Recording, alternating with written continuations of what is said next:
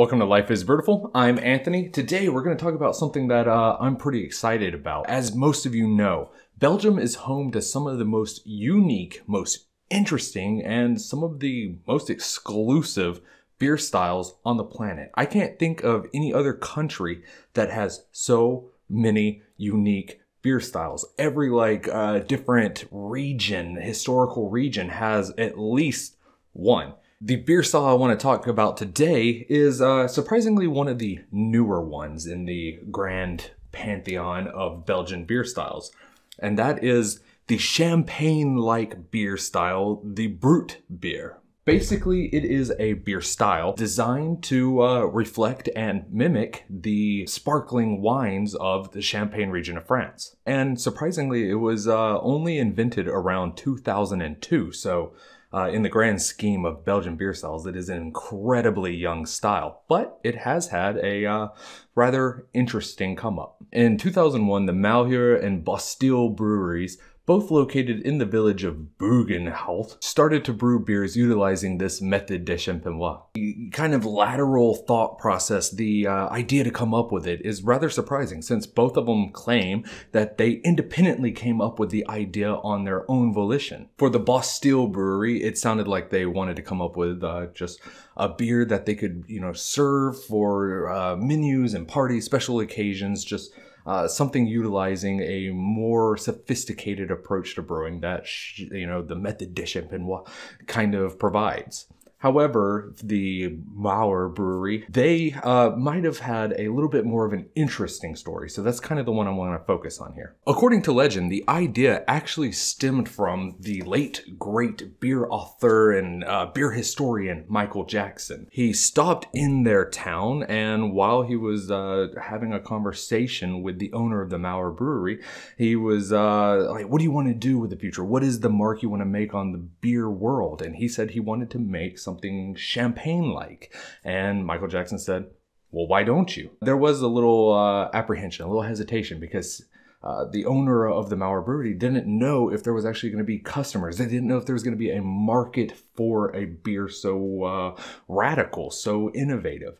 Michael Jackson put his mind at ease and said, No worries, I'm going to buy your entire first batch. Over the next year, Manu, the owner of Malheur, he would uh, travel across different sparkling wine regions, including going down to France to learn how to be able to produce traditional sparkling wine in the champagne style. He would learn how to ferment under intense pressure, and he would also learn uh, and secure samples of traditional champagne yeast and it's that yeast that would be like the the critical component the key aspect of brewing this style because it is like one of the only yeast strains out there that's able to ferment insanely dry uh, not produce a whole lot of awful off taste, but also be able to uh, create the intense level of carbonation required to uh, recreate a sparkling dry champagne style beer. They would continue to push the innovation boundaries and continue to experiment in this new,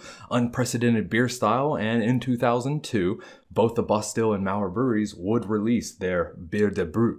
Now, the term Brut L has gotten a lot of attention in recent years thanks to the rise of the Brut IPA, which came around uh, 2016 17, that time period. However, the term brut itself actually stems from a long, long history of uh, uh, wine production uh, all across France, Belgium, even Germany. You can find bottles of wine that have brut across the label, indicating that it is typically sparkling, but oftentimes incredibly dry. So, on its surface, brut beer is kind of a rather simple concept, almost gimmicky in a way, really. It is a beer designed to be like champagne, as we've mentioned.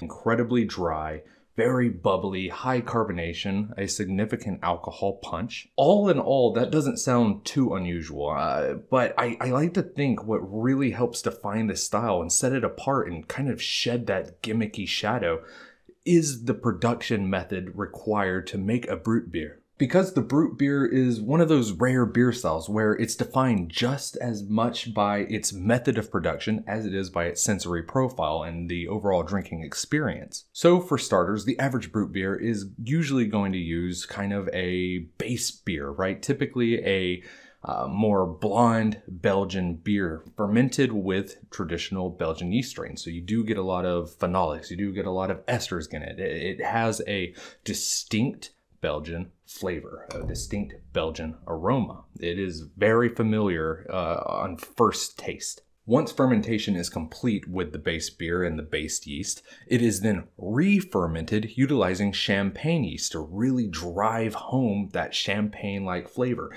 You are going to get a little viniousness to it. You are going to get that more refined alcohol taste. It is going to become a lot, lot drier. It cleans out incredibly well and that is one of the most defining aspects of this style. But that's about where the typical beer aspect of this uh, style kind of ends, and the more champagne method, the method de champenois. Champagne method. Méthode champenoise. The beers are then bottled in the champagne bottles with added sugar to reinvigorate the yeast and add excessive amounts of carbonic acid to help create that famous cork popping fizz that champagne is famous for. The bottles are then stored on their sides for up to a year with periodic rotating to allow the secondary fermentation and maturation to complete before they are slowly tilted downwards to allow the sediment to flock to the bottom of the bottle. The neck of the beer is then frozen in order to remove the yeast and the sediment plug formed by the tilting, and finally, the bottle is topped with fresh wort to allow another round of fermentation before being ready to sell. The final product is an incredibly dry, fizzy beer that looks, tastes, and feels as close to actual champagne as a beer could possibly get. The wine yeast creates a vinous flavor and aroma akin to wine, but backed by the delicate sweet barley touch. The hops are delicate and floral, but noticeable enough to remind you that you are drinking beer.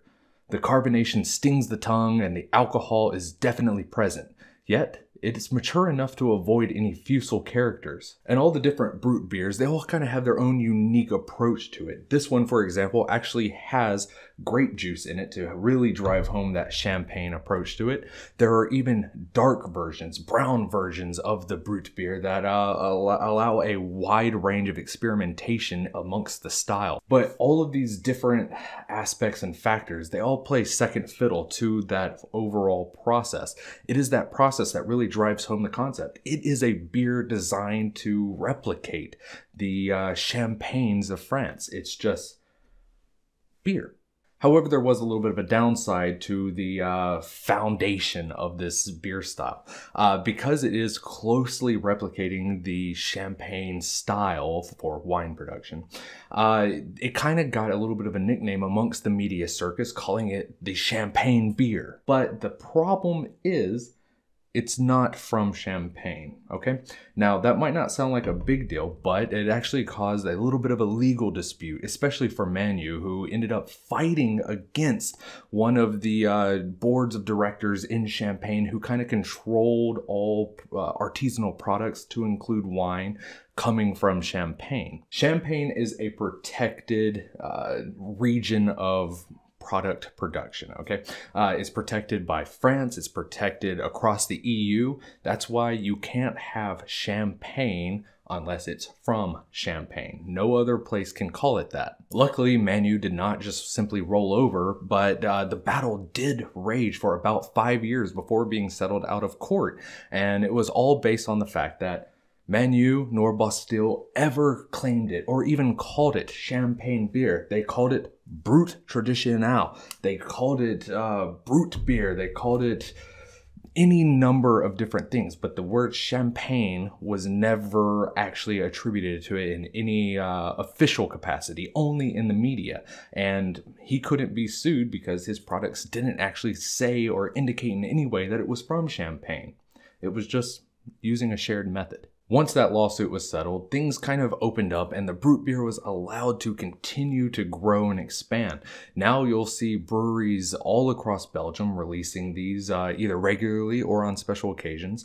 Uh, there's breweries in Germany, there's breweries in Italy, there's breweries in America, all brewing Brut beer. Where I think it actually has gotten a little bit of a stronger foothold is actually in the American craft beer scene, where uh, breweries, craft breweries, do what you would expect them to do and take this style to its next logical leap, its next logical conclusion. Like in the case of this Back 40 beer company's Bamamosa, they took the champagne beer style and they added orange juice to it and everything to be able to make uh, mimosas, right? I do worry that the American interpretations uh, might actually hurt or hinder the beer style from actually growing. And that's because uh, from the few examples I've been able to get my hands on, it doesn't seem like they're putting in the effort required to make it the way it should be. Uh, a lot of that traditional aspect of it is completely thrown out the wayside and just in favor of an incredibly dry beer fermented with champagne yeast, right? Uh, and then covered up with different adjuncts and everything. And I think that's because uh, if you just ferment a beer with champagne yeast, you're gonna wind up with some very wonky flavors and off tastes and things of that nature, which I think could actually hinder the style from growing. The brut beer needs that long maturation. It needs that extended cellaring and aging process. It needs the refinement and care to handle something as volatile as champagne yeast to be able to create something that uh, not only reaches the intended desired result, but tastes good doing so. It's one of the few instances I can think of where the American adoption of a style might actually be to the overall detriment of the style. And for it being so young, I don't think most drinkers have a lot of experience with it, so some of their first interpretations might be lesser. So, as far as I can think, the future of the brut beer is a bit in question all across the board, we have seen a rise in uh, a niche market where people are interested in beer wine hybrids. And I think the brut beer could get its foot in the door that way, going up that avenue.